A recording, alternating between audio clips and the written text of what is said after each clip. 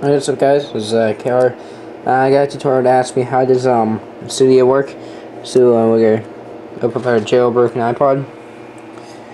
And um, here's Cydia. I have mine down here, as you can see. And uh, open up. And um, Cydia is actually pretty basic, but first, first time I ask you to open this, it's to ask you like graphical user and hacker and uh, developer. Um, developer essentially just gives you more like code based, like it allows it gives you all the same apps as it would if you gave if you clicked uh, graphical user. But um, when you pick developer, it gives you more like code ones too, like Java and so forth.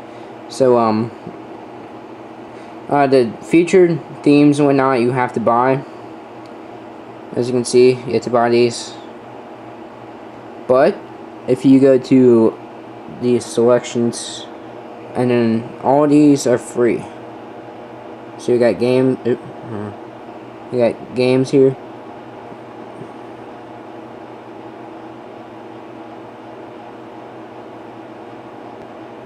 And there's a whole bunch of games here.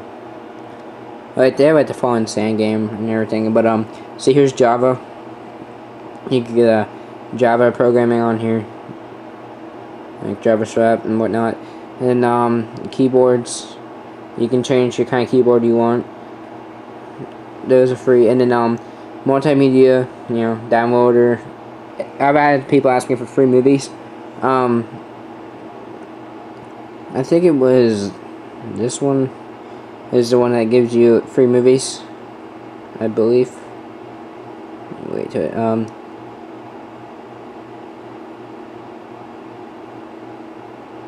Yep, you can get uh, free movies on here. And then um, for themes and stuff, you can go all the way down to T or themes. And you can pick a whole stock theme here. And this will get the whole theme for you. Or you can make the theme customly if you like, if you like, you know, customly like add-ons, battery, and everything by itself. Which that's what I did. Um, of course, if you're an iPod, you don't need SMS or SBS or SB settings.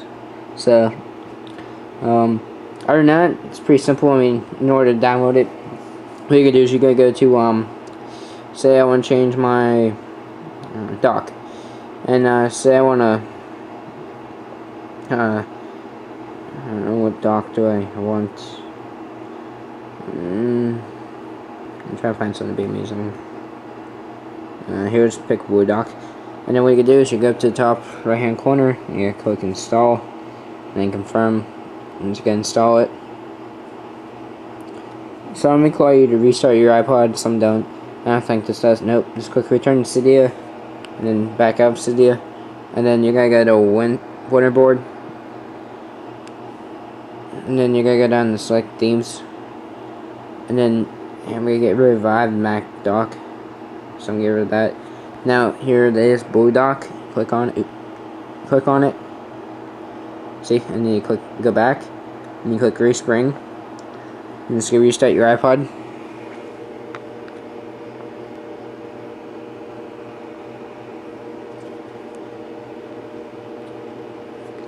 Okay.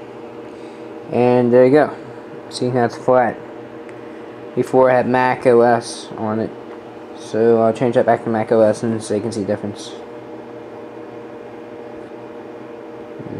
Go back, respring, and let's restart again.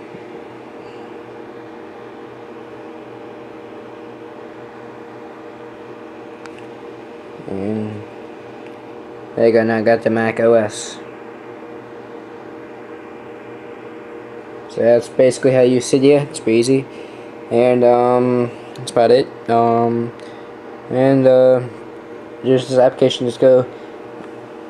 I'm not sure I got the application to search um, like the um categories, and it allows you to put these in these folders. Like I have all these different folders on here.